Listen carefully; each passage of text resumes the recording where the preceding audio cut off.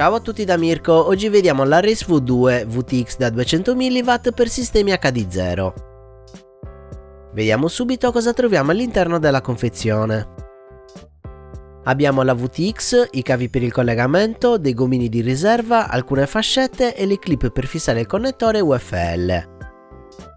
Come potete notare non è presente nessun condensatore così come non è presente nessuna antenna, ma su questo ci torneremo più avanti.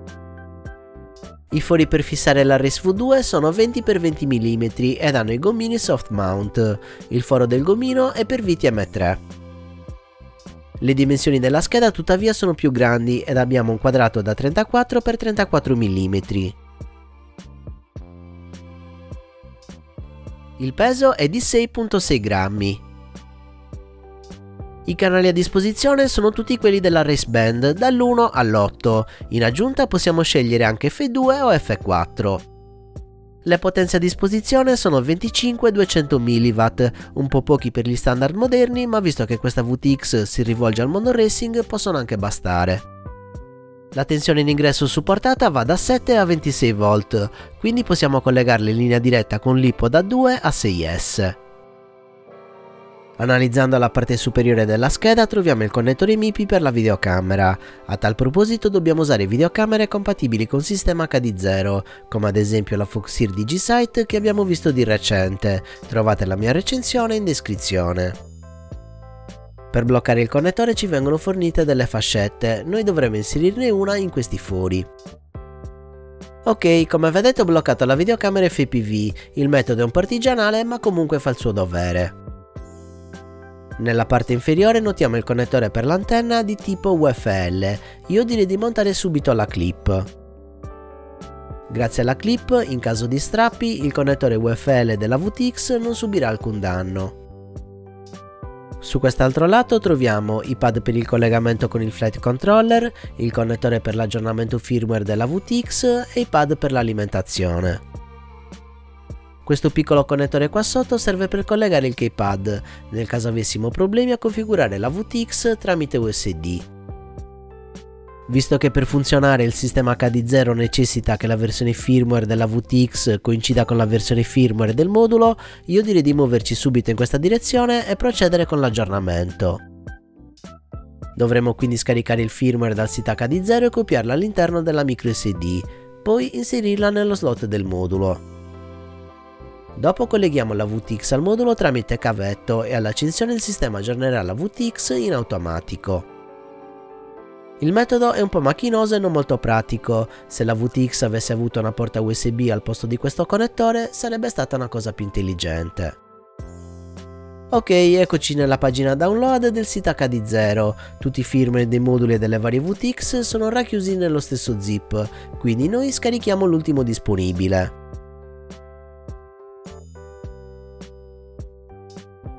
Una volta scaricato l'archivio possiamo estrarlo. All'interno della cartella troviamo tutti i firmware della linea HD0, quello che ci interessa è il file RACE V2. Apro l'archivio e trascino il file bin nella radice della microSD. Ora faccio rimozione sicura dell'hardware e inserisco la microSD all'interno del modulo. Prima di aggiornare vi ricordo che è obbligatorio inserire un'antenna nella VTX, altrimenti questa si danneggerà irrimediabilmente. Come abbiamo visto dall'unboxing, HD0 non fornisce nessuna antenna, quindi ne ho recuperato una da una vecchia cara VTX analogica. Molto bene ci siamo, ho inserito la microSD e collegato la VTX al modulo tramite cavo aggiornamento, non mi rimane che alimentare il sistema per far partire in automatico l'upgrade. Quando sul display comparirà questo messaggio significa che l'aggiornamento è andato a buon fine e possiamo scollegare tutto. A questo punto saldiamo i cavetti che ci vengono forniti in dotazione seguendo questo schema e rispettando questi colori. GND e VCC servono per alimentare la VTX, la tensione in ingresso supportata va da 7 a 26 V, quindi possiamo collegarla in linea diretta con l'IPO da 2 a 6 celle. Qui sotto abbiamo i pad T1 ed R1 che andranno collegati rispettivamente ad un RX e a un TX del flight controller. Possiamo usare tranquillamente qualsiasi word libera abbiamo a disposizione e non necessariamente la 1. Questo pad qua sotto è un pad che non ha nessuna funzione e al quale non andrà collegato nessun filo. Per finire abbiamo il pad SA per collegare lo smart audio. Visto che possiamo già cambiare qualsiasi impostazione della VTX con il collegamento tramite UART, trovo abbastanza superfluo e inutile avere un pad smart audio. Infatti nel menu VTX possiamo cambiare canale, potenza e PID mode anche senza smart audio. In questo video vi faccio vedere come collegarlo e configurarlo, ma a mio parere potete tranquillamente evitare di farlo perché non serve a nulla. Ok, come vedete ho saldato tutti i fili seguendo lo schema che abbiamo appena visto, ora non mi rimane che saldare i cavi nel flight controller. Perfetto, cavi saldati, ho collegato l'alimentazione sul back a 9V del flight controller e T1 ed R1 su R3 e T3. Come sempre quando si parla di collegamenti su porti UART, RX e TX vanno collegati invertiti tra loro. Il cavo smart audio va collegato su un TX libero, io ho usato il TX4. Per quanto riguarda l'alimentazione vorrei aprire una piccola parentesi, ricordandovi come inizio video ho sottolineato che insieme alla VTX non viene fornito alcun condensatore. In linea di massima se il flight controller dispone di un back da 9 o 10 volt vi consiglio di usare quello, allo stesso modo se avete una build a 6S avrete sicuramente un condensatore adeguato. Per quanto riguarda le build a 4S non sempre è necessario avere un condensatore ed effettivamente potreste non averlo. Allo stesso modo non è detto che il flight controller che state usando abbia un back per la VTX. Come comportarsi quindi in questo caso? Leggiamo quello che dice il manuale. Anche se la Race VTX ha un circuito integrato di protezione dalle sovratensioni, un condensatore in parallelo con i cavi della batteria è obbligatorio per regolare l'alimentazione dell'intero quad.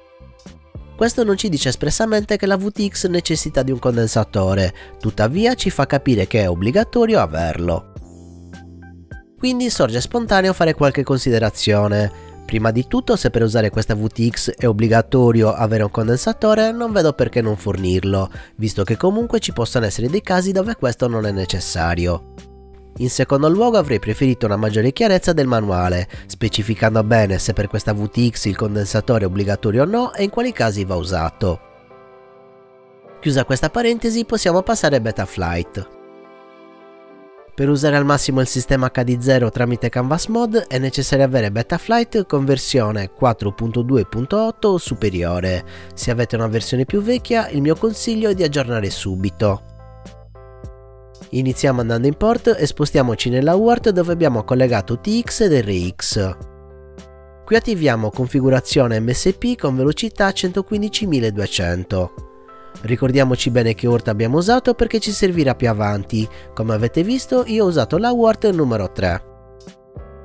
Se avete collegato il cavo Smart Audio attivate VTX TBS Smart Audio in corrispondenza della UART nella quale avete saldato il cavo giallo, nel mio caso la UART 4.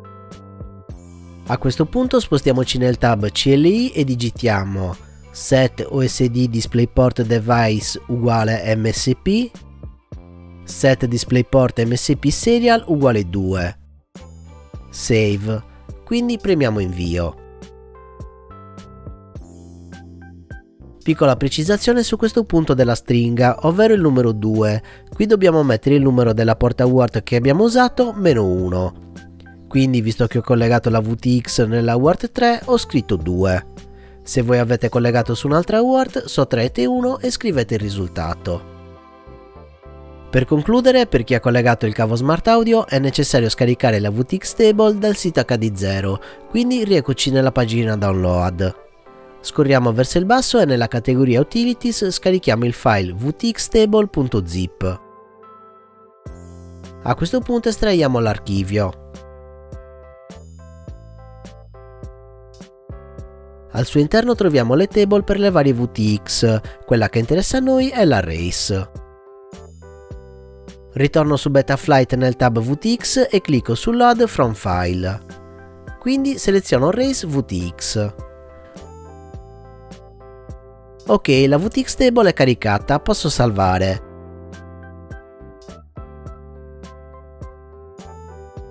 A questo punto la VTX è configurata e pronta all'uso. Per accedere al menu VTX mandiamo contemporaneamente lo stick sinistro in basso a destra e lo stick destro in basso a sinistra. Qui abbiamo il pieno controllo della VTX e siamo in grado di fare tutte le configurazioni come le possiamo vedere a schermo. Vi ricordo però che se avete attivato Smart Audio non potete accedere a questo menu, ma dovete configurare la VTX accedendo dal menu Betaflight come si fa per le VTX analogiche. Ed eccoci arrivati alle considerazioni finali e possiamo dire che questa VTX si rivolge principalmente a chi sta assemblando un drone racing. I 200 mW di potenza massima non permettono un volo su grandi distanze, tuttavia a mio parere potete anche valutarla se fate freestyle in campo aperto senza allontanarvi troppo. Per oggi è tutto, se il video vi è piaciuto lasciate un like, iscrivetevi e attivate la campanella. Per supportare il canale vi ricordo di acquistare sempre attraverso il link in descrizione o diventando miei patrons cliccando il link a fine video.